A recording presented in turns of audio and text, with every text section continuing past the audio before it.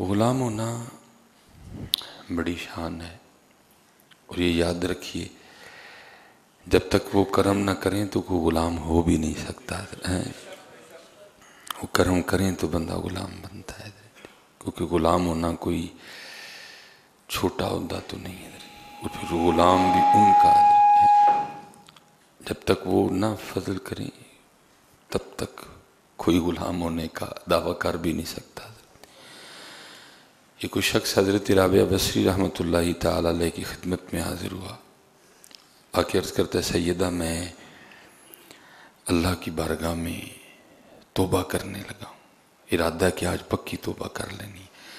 तो क्या वो मेरी तोबा कबूल करेगा? तो आपने फरमाया उसने कबूल कर लिया इसीलिए तो तू तोबा कर रहे हैं अगर वो कबूल ना करे तो कहाँ तोफ़ी तोबा तो ये खुद नहीं होता जी, ये वो कर्म करें तो ये अल्फाज फिर ही ज़ुबान पे आते हैं, हज़रत। ये तो दुनिया ही दुनिया है वो अगर ना चाहें तो किसी को अपना नाम भी नहीं लेने देते ये कर्म है, हज़रत। तो वो कबूल करेंगे तो फिर ज़ुबान से ग़ुलाम होना निकलेगा, हज़रत। नहीं तो सारी तवज्जो दुनिया की तरफ़। टाइल तो फर्नीचर तो बैड तो गद्दा तो ब्रांड तो मोबाइल तो गड्डी। इसी में ज़िंदगी वो कर्म करते हैं तो फिर रहमत होती है। जे चाहें तेरा गुजरानू तख्त अता फरमाए। जे चाहें ते शाहों को लूँ दर दर खैर मंगाई है। बस ये है कि हर वक्त डरना है। हर वक्त डरना है। माफ़ी मांगनी है। और जिस पे कर्म है, जिसको तोफ़ी के नमाज़ है, उसने बहुत डरना है। इस पे करम है उसने बहुत डरना कि कहीं तोफीक छीन न जाए बातें हम थोड़ी तो नहीं करते कि जो उनको पसंद नहीं है। तो बस हर वक्त डरना है कि किसी पे पकड़ ना हो जाए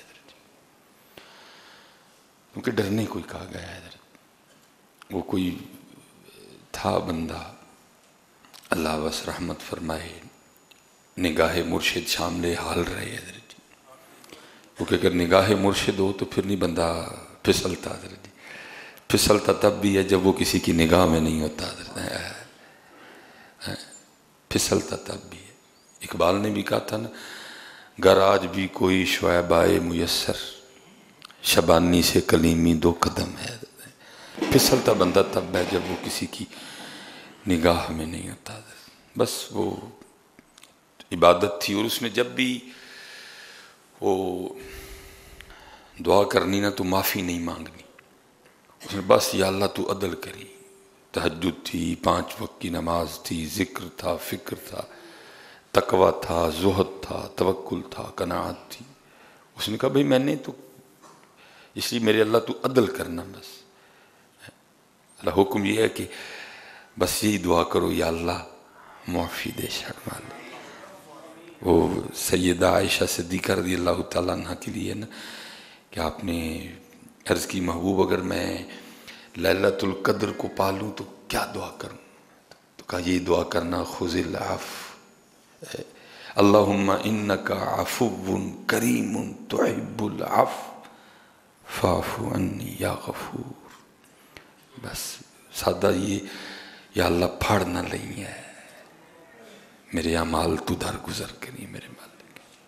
हमेशा पुत्र, ये जितने सूफी, मैंने अपने इन चंद सालों में इधर इधर बड़े चेहरे बदलते देखे हैं इधर। बंदे आए बड़े शौक से, और फिर गए भी बड़े शौक से इधर। बड़ा ध्यान रखिए पुत्र। ठीक है जी, ना करिए तो जे करिए, बहुत डरिए। बड़ा डर लगता है इधर जी, इतना डर लगता है कि फड़ ना कती कितने। तो वो, उन्होंने हमेशा यही या अल्लाह तो अदल करी। पाँच नमाजें पूरी हैं जमात के साथ तहजुद है, ज़िक्र, फ़िक्र है। मसला ही कोई नहीं। या अल्लाह तू अदल करना है। जब मेरे हिसाबो, हिसाब का मामला है उन्हें अदल करना है मसल। वो लिखा कि वो नमाज़ पढ़ के निकल रहे थे और कोई शख्स ना कत्ल करके भाग रहा था। वो दो हज़रत सिर ते मड़ासे, इको जही। कुछ जिस तरह अब ये दुकानें खुल गई हैं, हजाम वगैरह की। इस तरह तो नहीं कुछ होता था। तकरीबन सब की दाढ़ियाँ, और वो भी तकरीबन एक ही स्टाइल में। कपड़े तीन, चार रंग होते थे हज़रत। ये निकल रहे थे। वो चोर, कातिल तो गया भाग। पुलिस वालों ने इनको पकड़ लिया। इन्होंने भी कोई इतनी टेंशन नहीं भाई, मैंने तो हमेशा अल्लाह से कहा अदल करना। मुझे क्या होगा? मैंने बंदा मारा ही नहीं कोई। मैंने को कत्ल किया।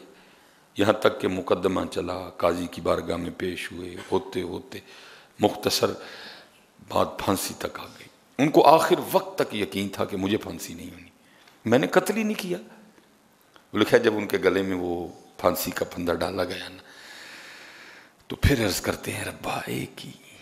मैंने तो हमेशा तेरी बारगाह में यही अर्ज़ की थी कि अदल करना। तो मैंने तो मारा ही नहीं बंदे को।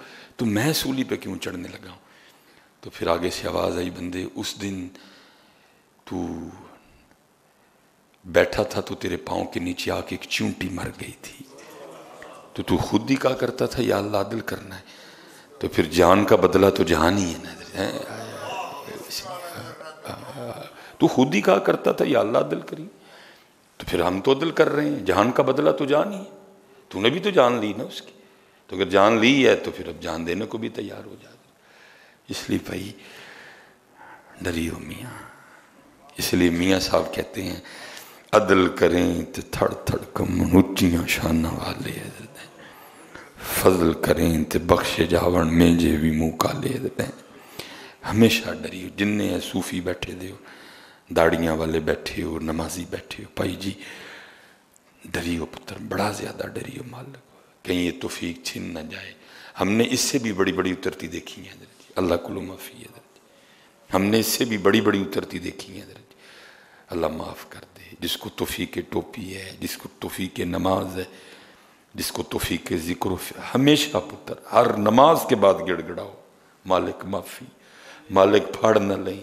या अल्लाह दर गुजर करी सड़े गुनाम तू करीम है, हमारे साथ करम वाला मामला करना है। और हर वक्त अपने अल्लाह की तरफ़ तवज्जो हर वेले अपने अल्लाह वाल ध्यान हर वेले अपने अल्लाह का ज़िक्र है। जब भूल जाओ, फिर याद कर लो। फिर गफलत गालिब आ जाए, फिर याद कर लो। फिर गफ, फिर गफलत गालिब आए, फिर याद। ये हज़रत राबिया बसरी रहमत तहा के लिए। देखो कित, क्या मैार थे तब हज़रत। अब तो बेड़े गर्क हो गए ना। कि कभी क्या मैार थे हज़रत, मोहब्बत इलाही के हज़रत। वो कुछ सूफ़ी साहब ना आपकी खिदमत में हाजिर हुए। उन्होंने आके ना वो दुनिया की मजम्मत में गुफ्तु करनी शुरू कर दी। कि ये इस तरह है, बंदे को रब से दूर करती है, बंदे से गुनाह करती है, ये ये ये ये बाप को, बेटे को बाप से लड़वा देती है, भाई को भाई से लड़वा देती है, ये बंदे से बंदे के रिश्ते छीन लेती है, ये मलून है, ये मखदूब शुदा है, ये ऐसे है, ये ऐसे वो सूफी साहब दुनिया की मजम्मत कर रहे हैं। तो जब वो खामोश हुए ना तो हज़रत राबिया बोली, आपने फरमाया, सूफी साहब, लगता है आपको दुनिया से वाह प्यार है। दुनिया की मजम्मत कर रहा हूँ कि ये ये रहजन है, ये ये ये बंदे को अल्लाह से दूर कर देती है, ये बंदे को गुनाहों पे उभारती है इसकी मोहब्बत। मैं बैठा मजम्मत कर रहा हूँ और आप मुझे पे इल्ज़ाम धर रही हैं कि जी मुझे दुनिया से मोहब्बत बढ़ी है। आपने फरमाया कसरत ज़िक्र मोहब्बत की अलामत है। कसरत ज़िक्र मोहब्बत की अलामत है। तुझे मोहब्बत है तो इसका नाम ले रहा है ना। दफ़ा कर इसको नाम लेना तो उसका ले। कभी ये मैार भी रहा है कि वो वो मुजम्मत में भी इसका ज़िक्र करना अच्छा नहीं समझते। नाम लेना तो उसका लो। फरमाइए तो मोहब्बत की अलामत है जो तू बहाने बहाने से उसका नाम ले रहा है। जी, मलून है मकदूब है रहजन है, ये है, वो है वो है। ये तो मोहब्बत है कि तू बहाने बहाने सभी तेरे दिल में इसकी मोहब्बत बाकी है। तो इसीलिए बहाने बहाने से इसका नाम ले रहा है। जो भी है, छोड़ इसको इसके हाल पे। तू अपने रब का नाम ले। है कभी ये भी मैार रहा है हजरती अहलुल्लाह का, अल्लाह से मोहब्बत का, ये भी अंदाज रहा है। कभी वो इस अंदाज से अल्लाह का ज़िक्र करते थे और किसी का ज़िक्र ही नहीं है। लेकिन अब अब तो हाल ये है कि सब कुछ है, नहीं है तो उसका ज़िक्र नहीं है।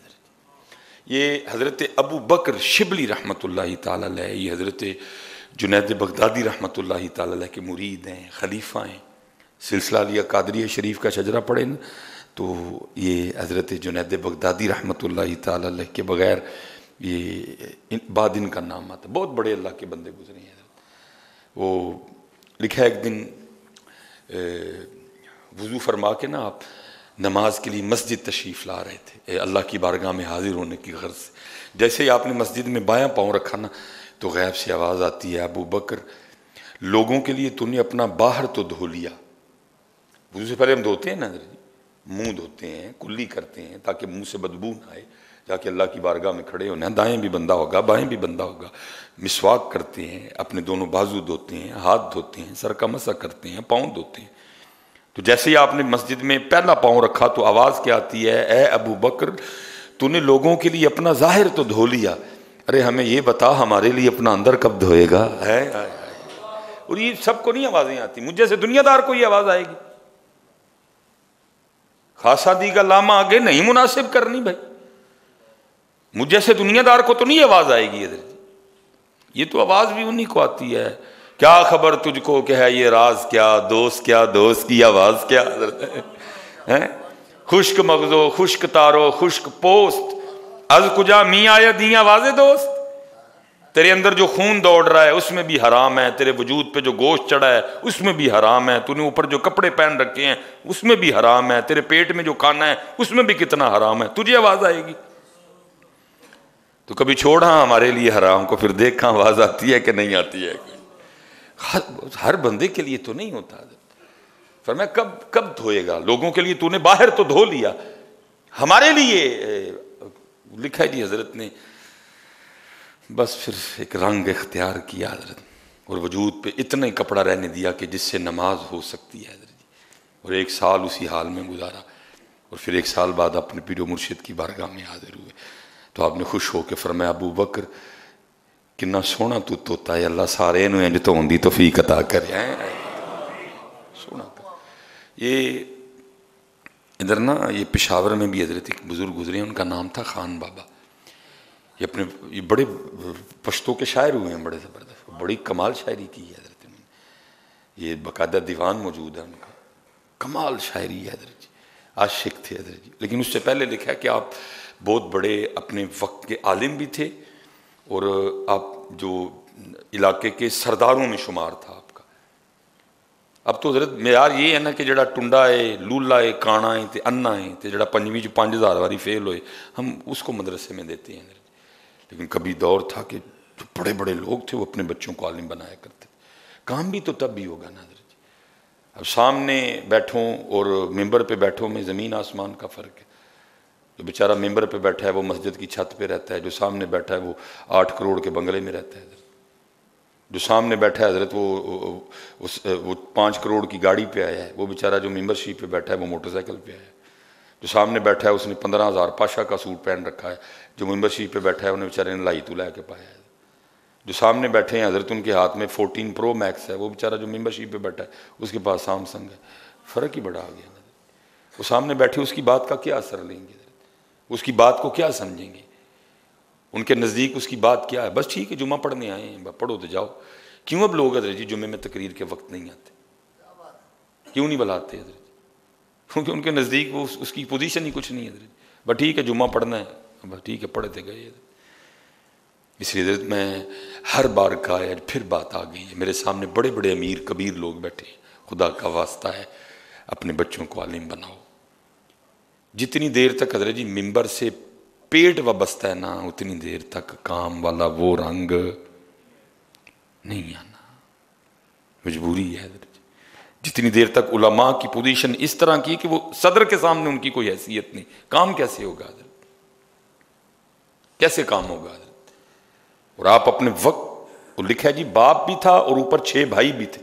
और खान बाबा के लिए लिखा है कि जब नमाज़ का वक्त होता ना तो ये अपने हाथ में डंडा लेके निकलते थे और लोगों को मस्जिद की तरफ़ लेके आना। पोजीशन ही बड़ी मज़बूत थी। एक थे सरदार के बेटे, ऊपर से आलिम भी हज़रत दो हज़रत जी, वो किसी में ज़रूरत नहीं होती थी, को आगे से कलाम करे। आपने सबको लेके मैं लैके आ सकना लोगों मेरे गल पै जान सारे हज़रत है मेरी इतनी पोजीशन हज़रत? है आज किसी आलिम की इतनी पोजीशन कि वो बाहर निकले और लोगों को मस्जिद में ले आए हज़रत नमाज़ के लिए। गल पै जाएँगे लोग। और जाए काम कर, पढ़ अपनी जाके। तू आलिम तू हज़रत बस कर्म होना था हज़रत, अल्लाह को अदा पसंद आ गई। ये बंदा मेरी मखलूक को मेरे लिए मेरे घर में लेके आता है। ले फिर, इस पर हम अपना वो दरवाज़ा खोलेंगे जो हम अपने ख़ास बंदों पर खोलते हैं। खोला फिर उन पर तरीका है ना रब की ज़ात का रब की ज़ात का एक तरीका है और अल्लाह अपने तरीके पे चलता है हज़रत अपने तरीके वो को मजदूर थे हज़रत। हज़रत वो डंडा लेके गुजर रहे थे तो ये रास्ते में, हालत जज में बैठे थे। उन्होंने जाके ना हज़रत उसकी भी वो कमर पे डंडा रसीद किया और कहा, तुझे नहीं पता आजान हो गई है, तू बाहर बैठा हुआ है। चल, उठ, नमाज़ पढ़। क्योंकि अगर वो अपने जज में सच्चा था तो इधर भी शरीयत थी जी। वो उठ खड़े हुए हज़रत। वो तो मजदूर थे हज़रत, दीवानगी गालिब थी हज़रत। वो सीधे ही मस्जिद में जाने लगे, उन्होंने हाथ पकड़ के बाहर खींचा। उन्होंने कहा तेनू नहीं पता, नमाज़ से पहले वज़ू करते हैं, तू बेवजू ही मस्जिद में जा रहा है? उनका अच्छा वज़ू करते हैं, चलो वज़ू कर लेने उसको ले गए हज़रत, वो ट्यूबवेल चल रहा था उसको, कहा, चल वज़ू कर। उसने कहा, जी, मुझे तो नहीं वज़ू आता कोई भी करना, कैसे करते हैं? फिर हज़रत उस पर खफा हुए, तुझे तुझे वज़ू नहीं आता? चल, मैं तुझे वज़ू करके दिखाता हूँ। पहले हज़रत ने ना सारा वज़ू किया। तो जब वो वज़ू करके बाहर निकले तो फरमाया चल, तू वज़ू कर। तो वो ट्यूबवेल में उतर के कहते हैं, मैनू तो किसी ने वज़ू का तरीका और ही दसिया है। फिर खफा हुए, भाई, वज़ू का तरीका ही है। या मनु इज़ा कुम तुम मिल सला फ़ाकसलू वजूह कुम व एदिया कुम मिलल मराफिक वम सहू बिरूसिकुम व अर्जुल कुम मिलल काबैन। क्या तरीका तुझे बताया किसी और ने? वो लिखा, हज़रत, उन्होंने ना ट्यूबवेल के सामने खड़े होकर कहा, लो।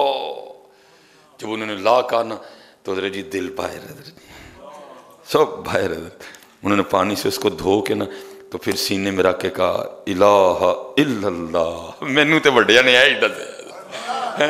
ये हान बाबा ने हज़रत एक चीख मारी और ये गिर के बेहोश हो गए हज़रत वो तो चला गया, लेकिन जाते जाते हज़रत आपका भी टांका लगा गया उधर हज़रत है? ये इसको धोना बेटा, इसको। कद अफलाह मन तजक्का। कपड़े माशाल्लाह बड़े बड़े सोने पहन रखे हैं सबने हज़रत जी। खुशबू भी लगी हुई है। वज़ू भी किया आपने। लेकिन वो कह रहे हैं, बंदे लोगों वास्ते बाहर तो सोना कर रहे हैं, साढ़े वास्ते अपना अंदर किस दिन सोना करना है? हम तो तेरा अंदर सोना चाहते हैं, बाहर भी सोना होना चाहिए, लेकिन हम तो तेरा अंदर सोना चाहते हैं। इसमें से बुग्ध निकाल।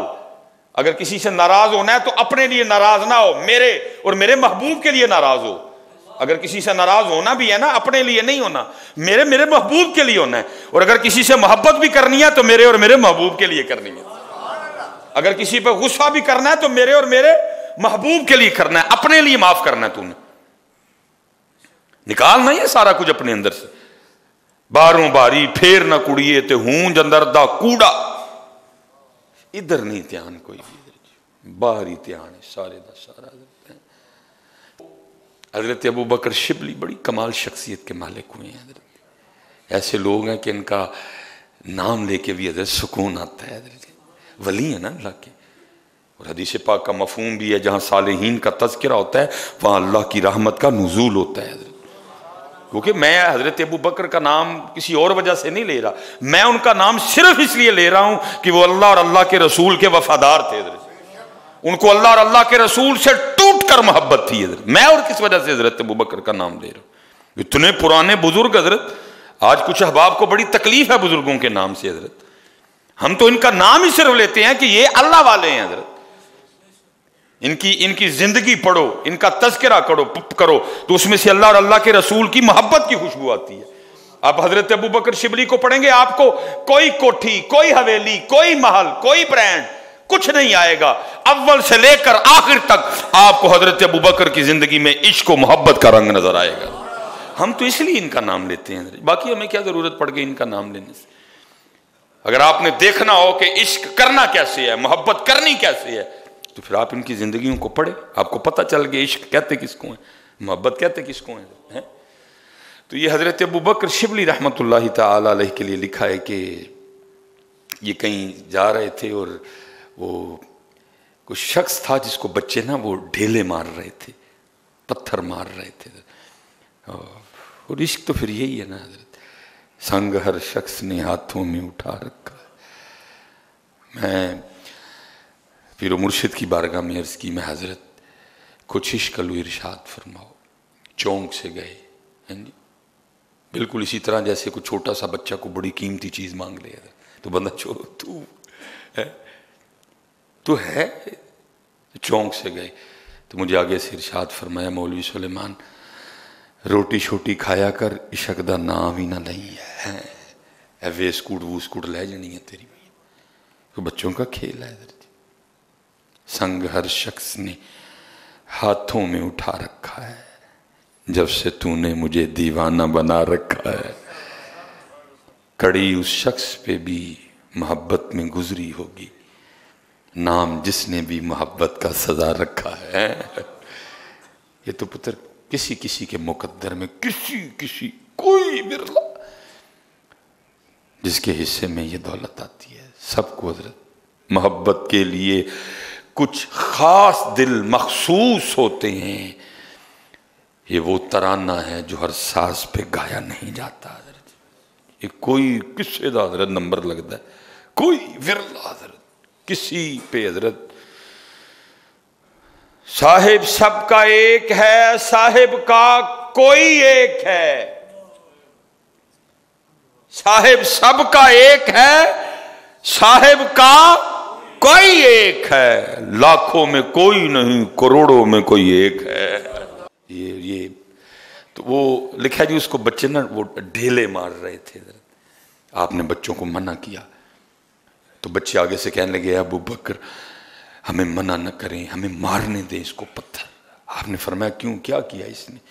तो बच्चे कहते हैं, हज़रत, ये दावा रखता है कि मैं अल्लाह को देखता हूँ। ये दावा करता है कि मैं अल्लाह को देखता हूँ। मारने दे पत्थर इसी लायक है कि इसको पत्थर मारे। कौन उसको देख सकता है? इन आँखों से हैं। ये तो अल्लाह ने अपने महबूब के लिए खास किया, हज़रत।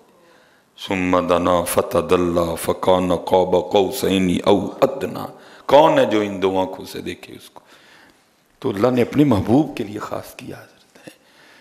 वो अफरमाते मैं उसके करीब हुआ तो अल्लाह की बारगाह में अर्ज़ कर रहा था, रब्बा, तू चंगा कीता कि इन बच्चों को मुझ पर मुसलत कर दिया कि जो मुझे पत्थर मार रहे हैं। अफरमाते मैंने उस मर्द दुर्वेश से कहा, ये बच्चे तुझ पे एक बहुतान लगाते हैं। उसने कहा, क्या कहते हैं? तो फरमाते, मैंने कहा कि ये यूँ कहते हैं कि तू दावा रखता है कि मैं अल्लाह को देखता हूँ। और फरमाते, उसने चीख मारी और मुझे आगे से कहता है अबू बकर, मुझे उस ज़ात की कसम जिसने मुझे अपनी मोहब्बत में दीवाना बना रखा है। अगर वो एक लम्हे के लिए भी मुझे भूल जाए तो मैं उसकी मोहब्बत में टुकड़े टुकड़े हो जाऊँगा। अगर वो एक लम्हे के लिए मुझे भूले गफलत तारी हो जाए, एक लम्हे के लिए भी तो मैं उसकी मोहब्बत में टुकड़े टुकड़े हो जाऊँगा।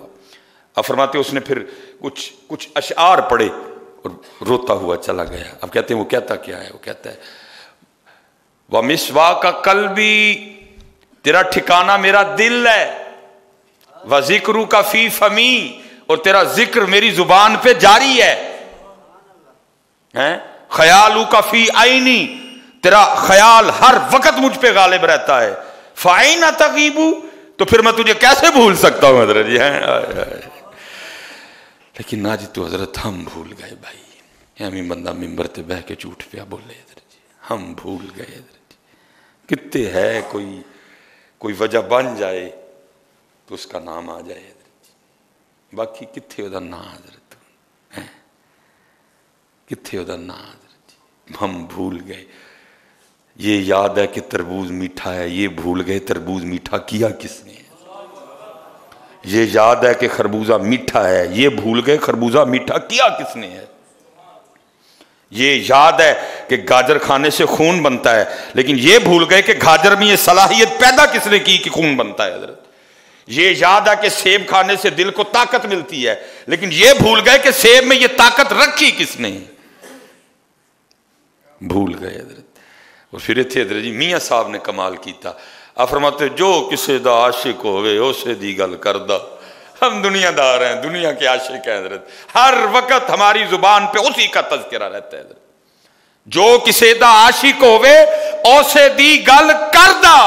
सौ सौ मकर बहाने करके उसे दे मरने मरदा है हम दुनियादार लोग, हम नहीं जी, बड़े साले लोग बैठे, मैं अपनी बात करता हूँ। मैं दुनियादार हज़रत मैं तो पुआ पुआ के हज़रत जी गल फिर उ ही खड़ना हज़रत कोटी बंगला महल गाड़ी पैसा ब्रांड हज़रत है नहीं हज़रत जी और मैं साई अब्दुल रशीद साहब बैठे हुए हैं एडा सोहना पढ़ने वाले मैं तो हकीम साहब की याद च पढ़ांगा तो जो हकीम साहब का सबक जी जिन्हों पकाने की कोशिश कर दे हैं पकदा नहीं है जी तो क्या फरमाया करते थे जब तक चले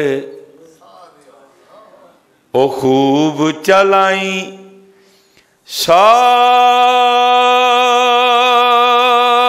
अपने दियारी। तिला सट फा जंजाला वाले, तिला अल्लाह नल यारी है।